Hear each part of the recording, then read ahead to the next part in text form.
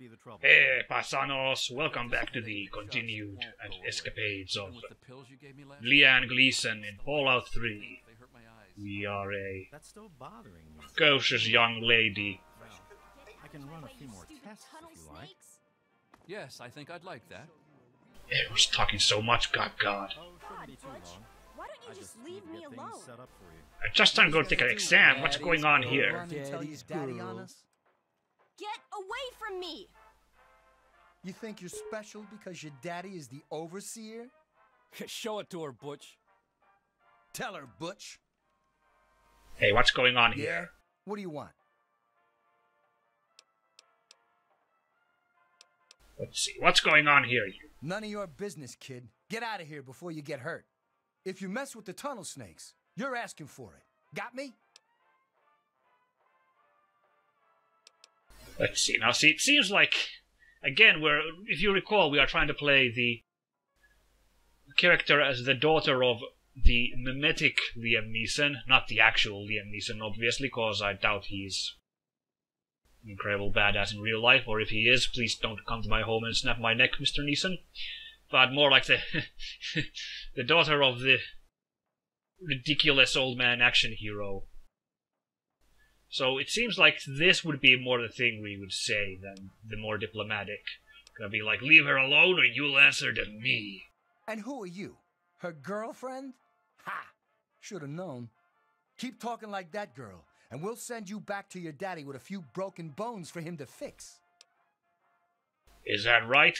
Freaking three idiots with greaser haircuts and jackets are gonna take me on? Alright, let's go. You've got to be kidding me.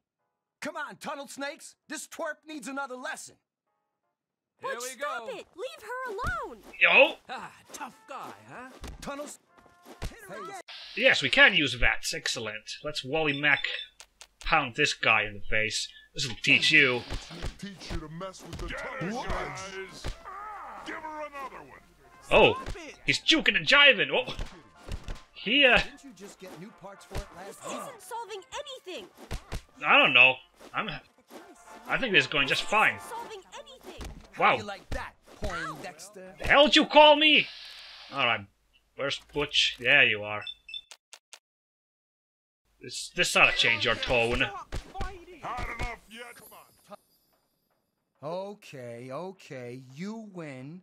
We'll leave the little girl. And we gain karma, You're not yes! worth our time anyway. Come on, tunnel snakes. We're out of here. This is the kind of game where senseless violence earns you points. Oh look, our ha- hair is already prematurely grayed like go. Liam Neeson. Fantastic. That's not weird at all. You too. How do you stow away your weapons? Uh, Let me just really quickly check. Is there any, like, stow away? Oh, there's also a block option. Probably could have used them in that last fight. Didn't realize that was. Oh, I think it's if you use the uh, reload button. That'll. That'll take care of it. Yes, that stows away our meaty fists. Oh. God, that's over. you okay? Thanks for getting rid of them. Assholes.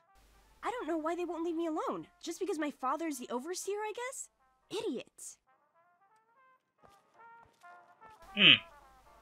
I was kind of expecting her to scold me a bit more for, um, well, all of this, but, uh, never mind. Yeah, Bethesda games are always a bit silly with how the guys go flying around. And here we walk in with a black eye. Hello. Well, you made it. All set for the goat? Trust me, it really isn't that bad. Just something everybody has to go through. Mm. Yeah, do I have to do this stupid test? Listen, I like your dad. I might even like you if I wasn't your teacher. So here's what I'm going to do. If you want to skip the test, just tell me how you want it to come out, and I'll take care of it for you. What? Well, I don't. Hmm, this is a tough choice. I think just for the interest of the um, let's play, I think we want to do the goat. So I'm gonna pick this. Uh, cause I don't know, maybe maybe LeAnn Gleason would be exactly the kind of rebel who'd do this normally. But let's play nice for Good once. you. Don't worry, you'll do fine. As soon as everyone's found a seat, we'll get started. So I think the goats not keep the overseer waiting. good fun, even though it sounds like we're just doing a stupid quest. I mean, stupid test. It is kind of a stupid quest too, but uh, here's all my friends and all these dorks and Freddy Gomez. Oh, Freddy Gomez. Oh, I'm blushing. But there was the option about Well, Freddy Gomez date or whatever. To find the classroom, we can finally get started. No talking, and keep your eyes to yourselves. yes, I'm talking to you, Mr. Deloria. Sure thing, Mr. Brotch. Unless anyone else has an insightful comment, let's get started. I'm so ready for this. Question one. A frenzied vault scientist runs up to you and yells, I'm going to put my quantum harmonizer in your photonic resonation chamber. What's your response? Well, quantum harmonizer in your photonic resonance chamber, eh? Okay, so if you guys don't know what's going on here, this is basically a clever little way of uh, allocating our skill points. So the answers we give will kind of determine how this, like, what skills we kind of value and which they'll, like, the points will be put into. So, so, part of me is like we need to optimize, but I don't really know how to optimize. I'm not very good at that. So I think we just need to again get into the head of our our hero here and see what would be what we need to think what would dad do. Let's see.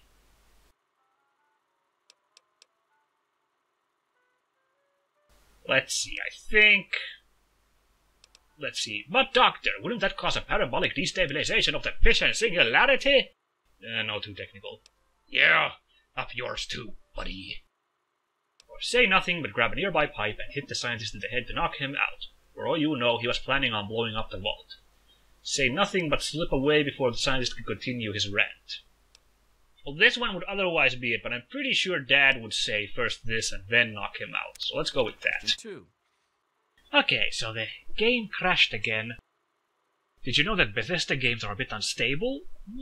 But I downloaded a patch and I looked up some cr- uh, crash help, changing some in the .ini file maybe to help. Hopefully that'll stop this and we can enjoy a crash-free rest of the Let's Play. I would enjoy that immensely. I don't quite enjoy having to edit all these clips into a coherent video when I could just film one giant video. Yes. Anyway, so we may have missed this question due to the crash. While working as an intern in the clinic, a patient with a strange infection in his foot stumbles through the door.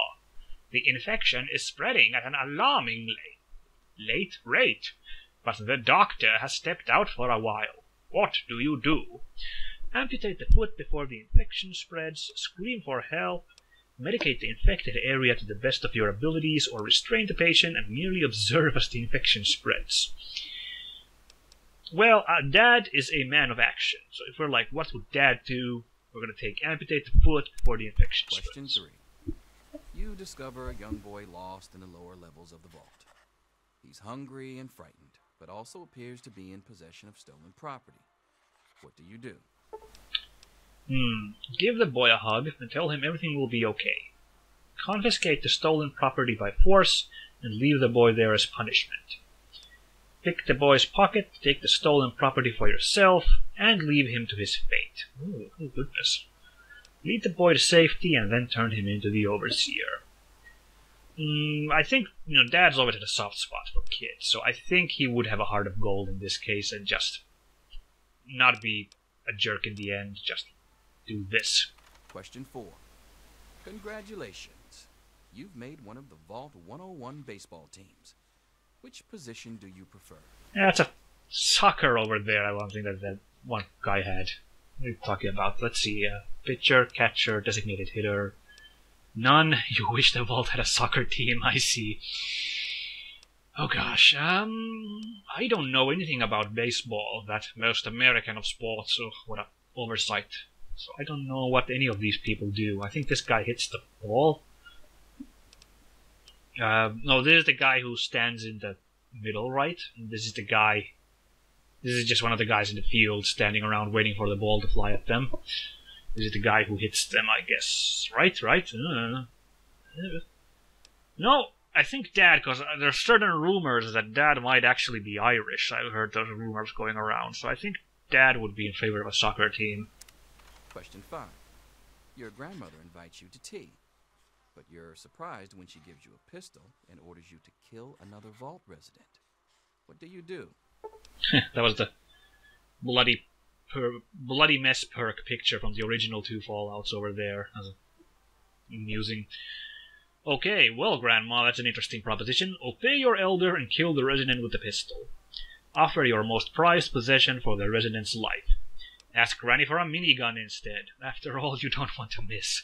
Well, I think a few of those bullets are going to miss if you're using a minigun, but, um, I don't know. Uh, good percentage of them should hit too, so it's not, it's not bad. Throw your tea in Granny's face. Well, I don't think Dad is that obedient that he just just because it was dad's grandmother that he just say okay granny i think this would be his first reaction and he might be nice enough to ask for an explanation before pounding granny's face in the shape of mincemeat so let's just take throw your tea in granny's face Question six. Old Mr. Abernathy has locked himself in his quarters again, and you've been ordered to get him out. How do you proceed? is there an option to just let him rot in there there he is, walk away, and let the old coot rot. Oh boy. Um, use a bobby pin to pick the lock on the door, trade a Vault hoodlum for his cherry bomb and blow the door open. Go to the armory, retrieve a laser pistol and shoot the lock off. Walk away and let the old coot rot. Okay, this one is tough. It's these two I have to pick between. Because Dad would I think, I mean, shooting the lock off sounds like something Dad would do, but a laser pistol, I don't know. This is more like a time for one of his more his trademark uh, trademark wits. He might use a bomb instead. So I think I'm gonna pick this. Question seven. Oh no, you've been exposed to radiation, and a mutated hand has grown out of your stomach. What's the best course of treatment? A bullet to the brain, okay. Large doses of an anti-mutagen agent. Prayer, maybe God will spare you in exchange for a life of pious devotion. Please save me from my hideous arm. Removal of the mutated tissue with a precision laser. No, I think Dad would not want to live himself if he had turned into a hideous mutant. That would be time for the final answer. Question 8. A fellow Vault 101 resident is in possession of a Grognak the Barbarian comic book, issue number 1. You want it. What's the best way to obtain it? Hmm. Trade the comic book for one of your own valuable possessions. Steal the comic book at gunpoint. Sneak into the resident's quarters and steal the comic book from his desk. Slip some knockout drops into the resident's Nuka Cola and take the comic book when he's unconscious. Hmm. Well, I mean, Dad's not a complete thug. He just doesn't go solving everything by violence. We don't know what kind of person it is um, who owns this comic book. If it's like Butch and his tunnel num nimskulls, numrods, nimrods and numbskulls, that's what I'm looking for. Blah blah blah.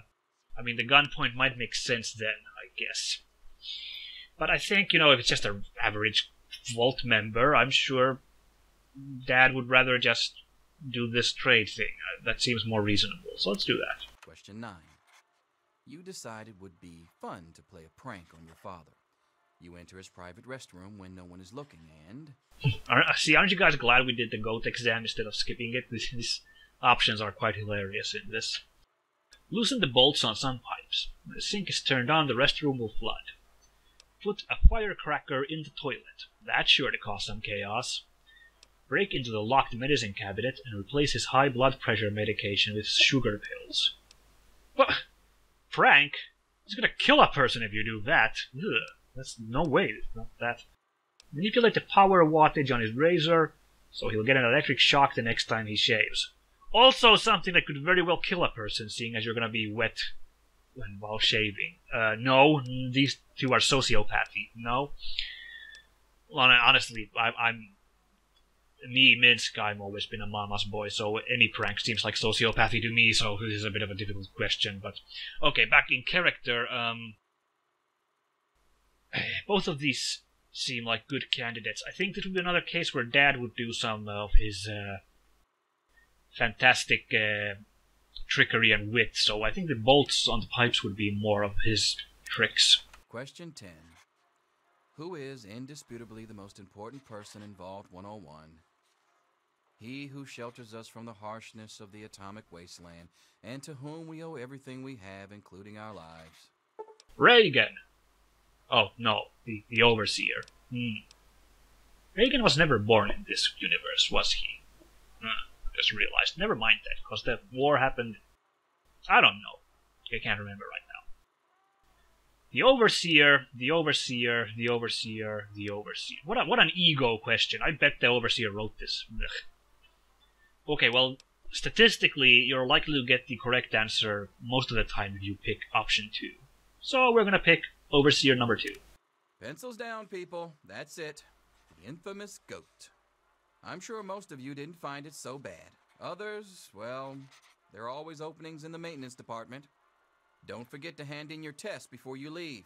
You don't want to know what happens to people who fail the goat. You can have the rest of the day off to celebrate or to pray, as the situation warrants. That sounded uh, promising. Alright, you need to. Thank God that's over. Come on, let's go get some lunch. How do you get out of it? No, okay. You just had to. Some directional Come on, button Mr. to climb Brush. out. I hope I did okay. Nothing for you to worry about, Miss Almodovar. Let's see. Very well done. Looks like it's the supervisory track for you. Thanks. See you tomorrow. Of course, the overseer's daughter. Ah, well, she's a nice person. Ah, Butch. Can I admit that I've been waiting for this day for a long, long time? Allow me to savor the moment. Now then, let's see. Hmm. Really? Interesting. You've surprised me, Butch. I didn't think you had it in you. Hairdresser. Who would have thunk it? You're so full of it. That isn't true. yeah, big man there. Although your hair is. Your coif is perfect. I'm all done, Mr. Brotch. I guess. Uh, wait a second. Can I have it back? I think I need to change one of my answers. Just calm down a minute, Paul. I'm sure you have nothing to worry about. Let's see. Hmm. Hmm. Yep, just as I thought. You're Oh, I just found the walk button. Yay. Mr. Hannon. Oops. What am I doing? Oh, gee. That's not so bad. Engineering, all right. Cool. I found the walk button. Excellent. Oh, come on, it's my turn. Damn it. Wow. It says here you're going to be the Vault's marriage counselor. What? Almost makes me want to get married, just to be able to avail myself of your services. What? Over half of my choices involved me being hideously violent for no point, right? Uh, making ridiculous split second decisions that lead to uh, irreplaceable, um, like completely uh, un- unwindable situations. How, how do I have the freaking aptitude to be a marriage counselor? I'm gonna give people terrible split second decisions and, and that's going to lead to horrible things. That that can't be right. This stupid test got it all wrong. Listen, I was just as obnoxious at your age. I didn't take the goat seriously. And look where I ended up. Just between you and me, the whole test is a joke. If you don't like the results, I can make your goat come out any way you want. Just let me know. Huh. Okay, so apparently this is what the game wanted me to. So you three skills are selected as what you get like an early big boost in. I don't feel like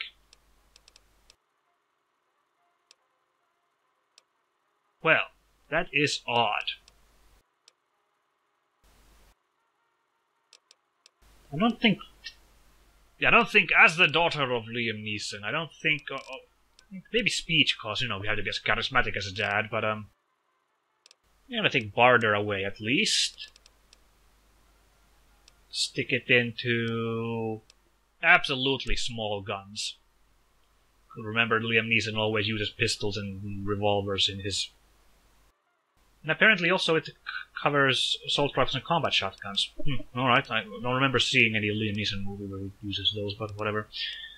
Gonna guess big guns means all those really beefy things, and I definitely haven't seen a Liam Neeson movie where he fires a minigun. Although that would be excellent.